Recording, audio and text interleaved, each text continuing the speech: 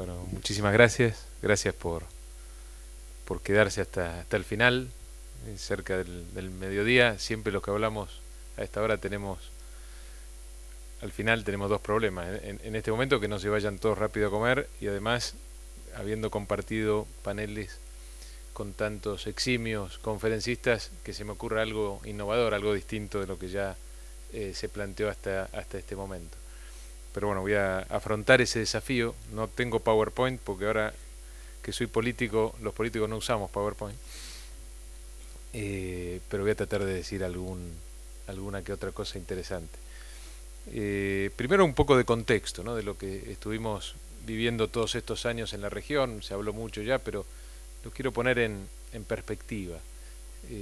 yo creo que en la región y en el mundo estos últimos 10 años ocurrió algo similar en, impacto a lo que fue la primera revolución industrial. Podríamos hablar de una segunda revolución industrial, con ciertas diferencias. Una revolución industrial que eh, se dio más en el campo que en la ciudad, que no usa energía fósil, sino energía renovable, básicamente el sol, y que en vez de liberar dióxido de carbono lo captura. Bueno, esta especie o suerte de segunda revolución industrial que se dio sobre todo en la región, podía haber convertido a Argentina en eh, la Inglaterra de lo que fue la primera revolución industrial, obviamente, y después de tantos datos, eh, queda claro que no fuimos la Inglaterra de esta segunda revolución industrial, pero tuvimos todas las condiciones, y la región tuvo en general muchas condiciones, acá también se habló de cuánto se aprovechó esta circunstancia extraordinaria para sentar las bases del desarrollo económico y una verdadera inclusión social en la región. Por supuesto que hay matices, algunos la aprovecharon más, otros muy poquito, como el caso lamentablemente de, eh, mi país, del país que yo represento. Eh, y la verdad que llama la atención a veces como los políticos o los economistas no vemos las cosas en perspectiva. Eh, me hace acordar al cuento que, habla sobre la cuál es la, profesión más antigua del mundo. Entonces se junta una prostituta, un abogado, un arquitecto y un economista a discutir cuál era la, profesión más antigua del mundo. La prostituta dice, bueno, todo el mundo sabe que la profesión más antigua del mundo es la mía. Eh, y el arquitecto dice, no, pará. Eh, acá hubo un caos y tuvimos que empezar a construir el mundo. El arquitecto o la arquitectura fue, fue la, la, profesión original. Y el abogado dice, bueno, no, hablando de caos, siempre que hay caos, hay un abogado metido en el medio. El economista dice, perdón, ¿quién se creen que generó el caos? Eh, y eso me parece un poco que es lo que de alguna manera explica cómo con semejante bonanza no pudimos hacer las cosas mejor en esta parte del mundo. En el caso de la Argentina les doy un solo ejemplo. Eh, los dólares que ingresaron por exportaciones entre el 2003 y el 2013, 10 años de ingreso de dólares por exportaciones, fue igual a los dólares que ingresaron por exportaciones entre el año 43 y el año 2013. Es decir, en 10 años ingresaron la misma cantidad de dólares por exportaciones que en los anteriores 60 años. un poco para, para ponerlo en perspectiva y ver cómo, qué hicimos para aprovechar esta década que, eh, que claramente para la región es el estado de nirvana, o fue el estado de nirvana. Eh, recientemente conversando con otro exministro, como Germán, eh, el exministro de, de Vallelet, Andrés Velasco, me contaba que, que cuando estudiaba en Estados Unidos tuvo un gran profesor que un economista cubano que fue uno de los más conocedores de la región, que llamaba Díaz Alejandro, que les decía a sus alumnos allá por la década del 70, hay algo que nunca va a ocurrir en la región. Algo que nunca va a ocurrir en la región. Sáquenselo de la cabeza. Nunca se van a revertir los términos del intercambio de manera positiva, nunca va a haber eh, el precio de, de, exportaciones tan superior para la región que, el precio de las importaciones y nunca va a existir tasas de interés cercanas a cero. Bueno, se equivocó Díaz Alejandro. Claramente tuvimos en la región un estado de nirvana. Eh, creo que todavía tenemos el, coletazo de ese Estado. Creo que, como se dijo acá, sobre todo para los países productores de alimentos, esto va a mantenerse un tiempo más. Creo que también coincido en que los Estados Unidos no van a, subir abruptamente la tasa de interés, y así que vamos a tener todavía algunos años eh, por delante en la región como para replantearnos ciertas cosas y ver si eh, en estos años de bonanza que todavía yo creo que quedan podemos hacer bien los deberes. En la Argentina, puntualmente, hay como dos sets de problemas. Por un lado tenemos los problemas más de, más de coyuntura, las cosas que se discuten todos los días en mi país, eh, la inflación, el cepo cambiario, eh, el crédito, la posibilidad de recuperar el crédito internacional, eh, los problemas del comercio exterior, bueno, acá también los conocen, conocen lo que pasa del otro lado del, del río, la falsedad de las estadísticas públicas, es decir, hay un set de problemas que son graves, son problemas graves, y que si en algún momento los superamos, es decir, si a partir del 10 de diciembre, cuando cambie el gobierno, se puede empezar a superar estos problemas, que dicho sea de paso, son prácticamente los mismos problemas de la Argentina de los últimos 50 años por lo menos. Yo siempre digo, todos los países tienen problemas. El principal problema es no cambiar de problema, tener siempre los mismos, porque eso habla a las claras de una involución y creo que eso es lo que está pasando en, la Argentina. Eh, pero si hacemos el esfuerzo de, superar estos problemas, ¿eh? de superar la inflación, de superar o de liberarnos del cepo cambiario, de volver a tener crédito internacional, de eh, liberar las trabas al comercio exterior, de eliminar las retenciones a las exportaciones, de tener estadísticas confiables, bueno, si logramos todo eso, el primer set de problemas, nos vamos a parecer a Bolivia, Paraguay, Uruguay, a Chile, a Colombia, a Brasil, etcétera. Es decir, ese set de problemas resuelto nos va a acercar a lo que ocurre en el resto de los países de la región. Y después van a quedar todos otros set de problemas que todavía muchos, la gran mayoría de los países de la región comparten, y que son, a mi juicio, los grandes desafíos de, eh, de, los próximos, de los próximos años, que pasan por cosas que también se plantearon acá, ¿no? la lucha contra el narcotráfico, la lucha contra la corrupción, contra las mafias, eh, la educación, recuperar un Estado en el caso de la Argentina sobre todo, y después voy a ahondar en ese, en ese punto que pueda liderar un proyecto de desarrollo nacional. Eh, en el caso de la Argentina también el tema energético, volver a, solucionar o a replantear la posibilidad de, autoabastecernos de energía, un país que tiene las condiciones como para hacerlo. Eh, e, este set, segundo set de problemas probablemente lleve más tiempo y eh, obligue a, mi país a resolver una paradoja que se da, sobre todo en los últimos 30 años. Eh, en la Argentina tenemos eh, imposibilidad de sostener en el tiempo las políticas públicas. Absolutamente eh, imposible fue en los últimos 30 años, sobre todo de democracia en la Argentina, sostener alguna política en el tiempo. Y eso, esa situación, se da en paralelo con el hecho de que en la Argentina y en los últimos 30 años siempre tenemos los mismos políticos. Entonces, es paradójico, porque no podés sostener políticas, pero están siempre los mismos políticos. ¿Cuál es la respuesta a esta, esta paradoja? Es que los mismos políticos cambian de opinión. ¿Mm? Un día te votan una privatización, al otro día con el mismo énfasis una nacionalización, ¿eh? te sacan un impuesto, te lo vuelven a poner. Los mismos políticos incapaces de sostener políticas públicas en el tiempo que son la clave, entre otras cosas, para resolver el segundo set de problemas más estructurales, más difíciles. La única forma de resolverlo, obviamente, es con otros políticos, con nuevos políticos. Y ese es el gran desafío también de la Argentina, de la Argentina que se viene. Respecto al primer, al, primer set de problemas, eh, la Argentina tristemente forma parte del club del 1% de los países del mundo con inflación. Si algo avanzó la ciencia económica, sin algo podemos estar orgullosos los economistas que hemos podido resolver un problema, es el de la inflación. Ya nadie discute en el mundo cuáles son las causas de la inflación, por más que alguno diga que no es una sola, no es solamente el tema monetario, puede haber otras cuestiones detrás. Eh, claramente la, la, ciencia económica pudo encontrarle la vuelta al problema de la inflación y en consecuencia el tema de la inflación no es hoy un problema generalizado a lo largo, a lo ancho del, del, mundo.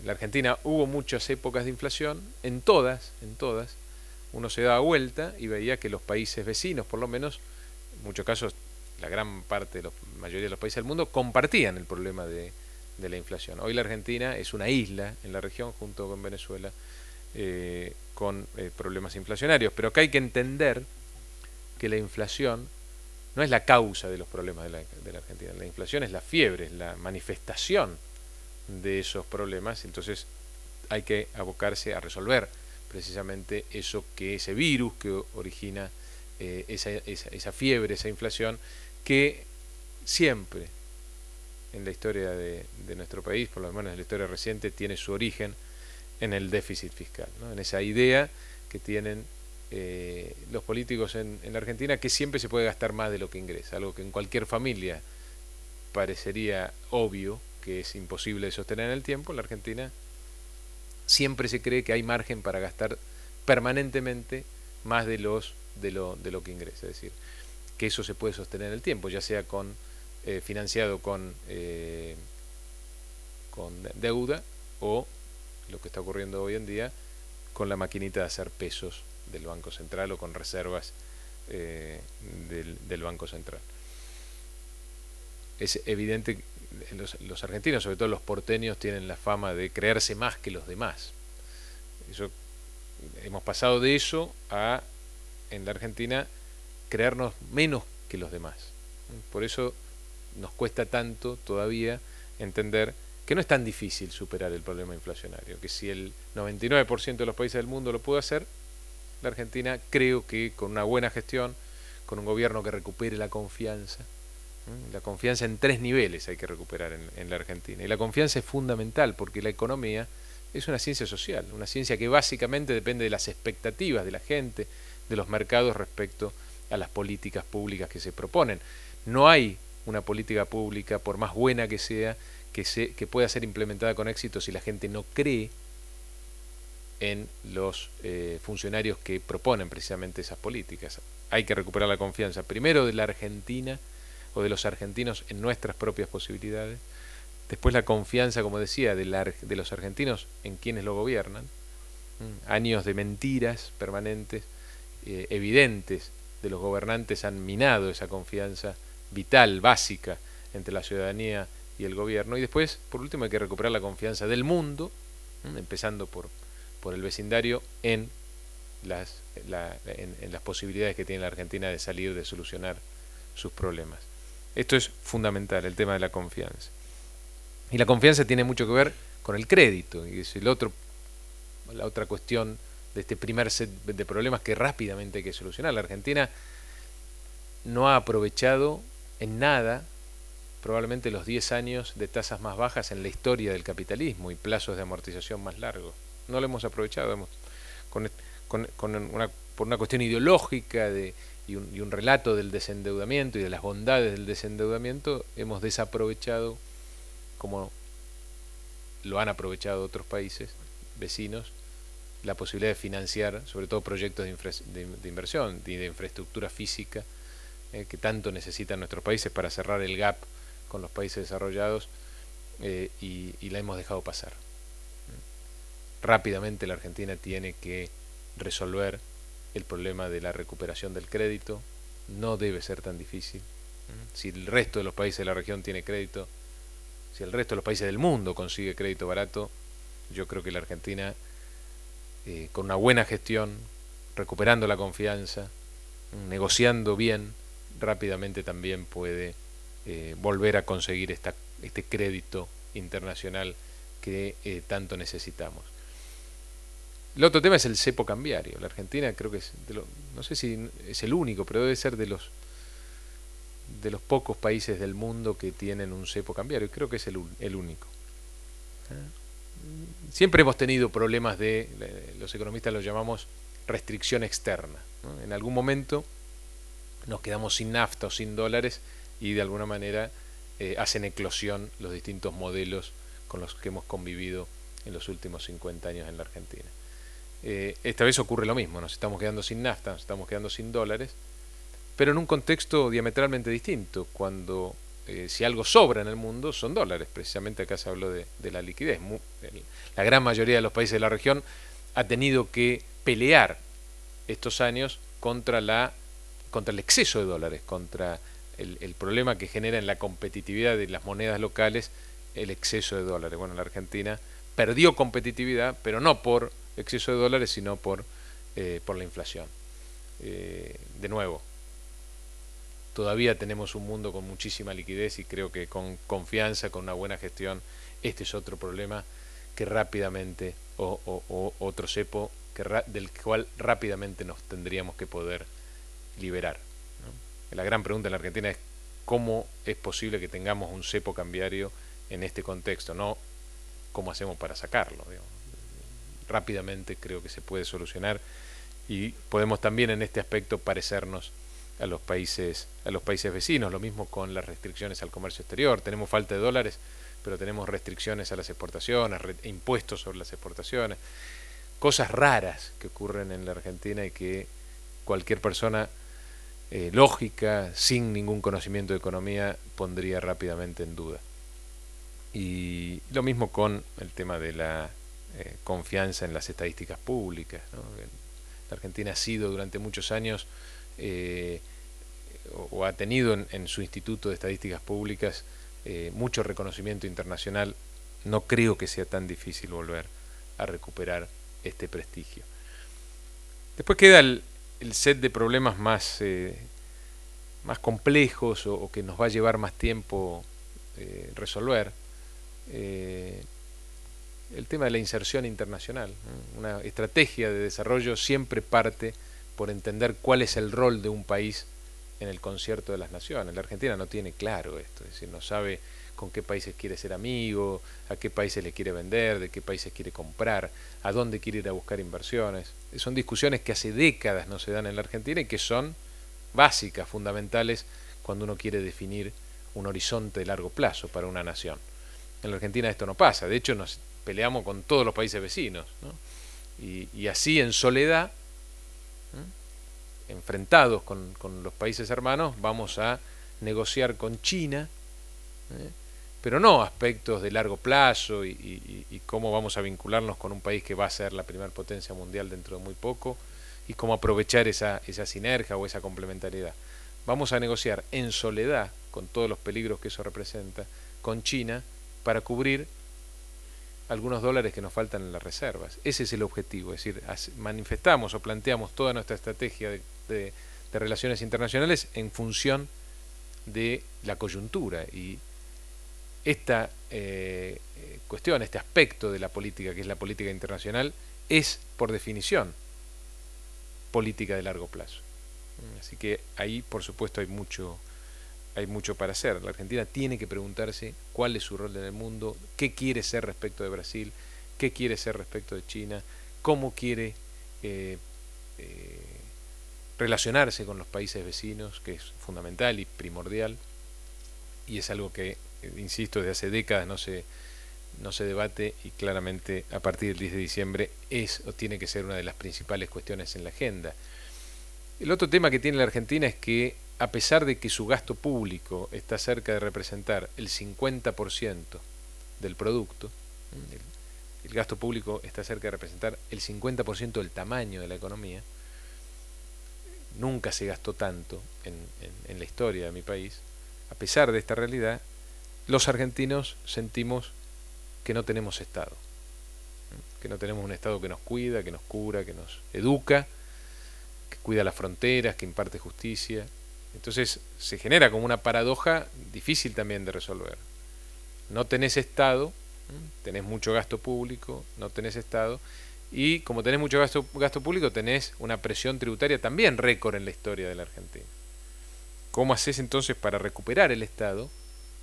Y ahora voy a explicar por qué es tan importante, y disminuir o darle alivio fiscal a la gente y a los productores es clave eso, resolver este dilema es clave para el futuro de la Argentina. La Argentina necesita recuperar un Estado. No hay en el mundo ningún ejemplo de país que ha pasado del subdesarrollo al desarrollo sin que ese tránsito haya sido liderado por un Estado inteligente un Estado que puede, que de alguna manera entiende para dónde va el mundo, que puede fijar prioridades, que puede abrir mercados, mercados internacionales, que puede ir de la mano con, el empresario a,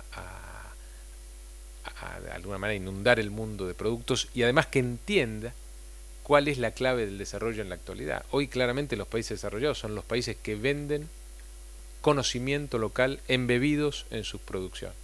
Esa es la clave del desarrollo. Los países desarrollados hoy en día son países altamente diversificados. No existen países desarrollados que hacen bien tres o cuatro cosas, hacen centenares, miles de cosas.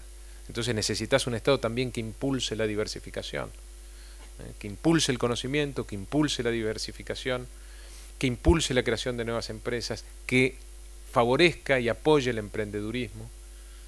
Ese es el Estado que necesitamos en la Argentina, por supuesto no, tenemos ni educación, ni salud, ni, ni, seguridad, es difícil que, el Estado pueda tener como esta visión que necesitamos para, si finalmente lo decidimos, ir hacia, el, hacia, hacia una, un una trayectoria de desarrollo. ¿Cómo resolvemos este dilema? La necesidad de crear Estado y la necesidad de darle alivio fiscal a la gente con algo que por suerte en la Argentina se empieza, y creo que en la región, se empieza a valorar mucho más, que es la capacidad de los políticos para gestionar los recursos públicos.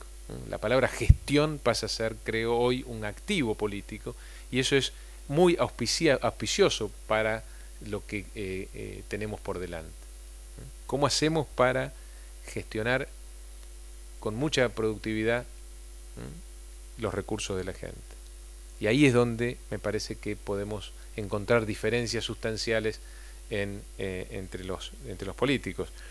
Claramente lo que, lo que está pasando hoy en la Argentina tiene, a mi juicio, mucho que ver con lo que pasó en Uruguay con el, con el Frente Amplio. Es la primera vez en la Argentina que hay una fuerza nueva, ¿eh? distinta, un, un, proyecto de poder distinto a los tradicionales, que puede mostrar, darse vuelta y mostrar gestión, que no solamente plantea desde, desde las palabras lo que quiere hacer, sino que se da vuelta y lo muestra. Y es bastante parecido a lo que pasó con el Frente Amplio en Montevideo.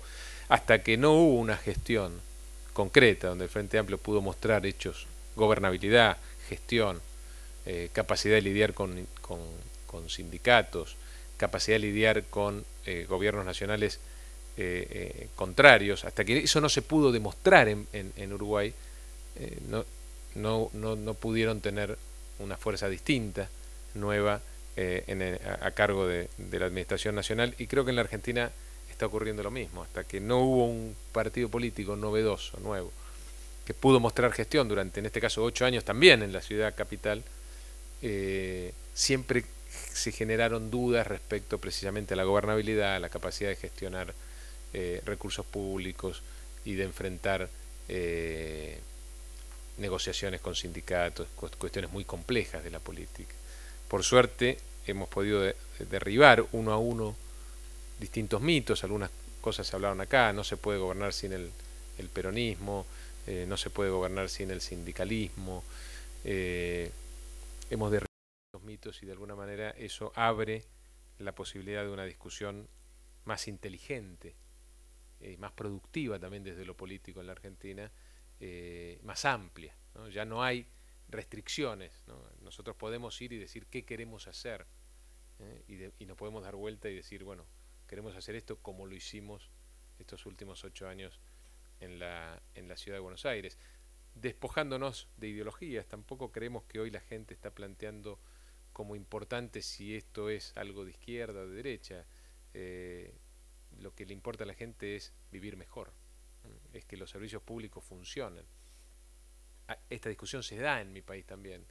y muchas veces nos preguntan, bueno, pero ¿van a mantener las empresas públicas? Eh, nosotros queremos empresas que funcionen, que brinden servicios públicos de calidad a la gente, no importa si son privados o públicos. Lo que tiene que ser es que son eficientes. De hecho, ese es el mandato que yo tengo como presidente del Banco Ciudad. El Banco Ciudad es un banco público que cumple eh, el rol de fomento social, cultural, de alguna manera eh, la obligación de estar cerca del, aparato productivo de la, de la, ciudad, pero es el séptimo banco del país, es un banco que compite mano a mano con todo el sistema financiero privado. Estamos también intentando derribar ese mito entre lo público y, lo, lo, productivo, lo competitivo, la buena atención a la gente. Creo que también hemos avanzado mucho en eso. ¿no? Eh, no importa si es público o privado, lo importante es que brinde un buen servicio y de última, el Estado siempre es el responsable de los servicios públicos siempre, independientemente si los tiene concesionados o no. La responsabilidad última siempre es del Estado, siempre es del, gobierno. Para lograr esta transformación de la Argentina, para ponernos primero a tono con la región y después también empezar a plantearnos los mismos desafíos que se plantean los países vecinos, hacen falta varias cosas, como las planteé, hace falta otro liderazgo, otra visión. En la Argentina la única visión que existe hasta ahora es el corto plazo. Los, los políticos, los gobernantes tienen un horizonte que se termina en la próxima elección. Entonces todas las políticas están enfocadas a ganar la elección. Nadie incorpora en su visión, en su, en su mirada a la próxima generación. Eso es lo que necesitamos de la política que venga. Y necesitamos algo fundamental, creo que acá también se planteó. Eh, el populismo, ese mal endémico no solo de la Argentina, sino de la región, ese mal que cuando nos toca la bonanza, como nos tocó todos estos años, en general tiende a exprimir todo el juego de la bonanza y no dejar nada para el futuro. Ese mal endémico no es propiedad exclusiva de los políticos o de los funcionarios. evidentemente el populismo es algo que en la región tenemos en nuestro ADN. Si no nos explica por qué tantas veces apostamos al populismo. En consecuencia, lo que necesitamos a futuro en la Argentina y también en la región son liderazgos con la convicción suficiente como para hacer las cosas que hay que hacer y no escuchar el canto de sirena del populismo, porque en la medida en que la Argentina haga las cosas bien, vuelva un, clima de bonanza, nuevamente la tentación del populismo va a acechar. Entonces necesitamos convicción para mantener el rumbo. Necesitamos, en definitiva, un presidente en la Argentina, o varios presidentes en la Argentina, que prefieran, como Frondizi, ya que lo planteaste, quedar en la historia antes que quedarse siempre en el poder. Muchas gracias.